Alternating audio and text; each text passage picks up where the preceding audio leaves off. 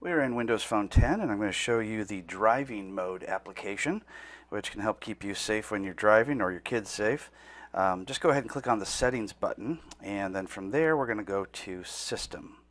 And in system we'll see an option for uh, driving mode so we'll go ahead and click on dri driving mode and you see here welcome to the driving mode. It's sort of a wizard so we're going to go ahead and click next to get started.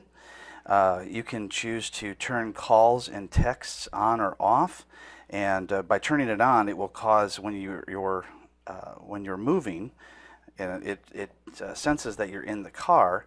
Um, then those calls will be unavailable and those texts will be unavailable. You'll be uh, not able to get anything like that um, when that happens. Let's go ahead and click next. So you can automatically text replies to incoming calls. And uh, so if you want that, you can have the, uh, the text to calls on and for texts on. And so here's the message. It says, driving right now. I'll get back to you later. All right, so there's a couple of different uh, things that we're already connected to on Bluetooth. And we'll go ahead and choose the car that we have it connected to.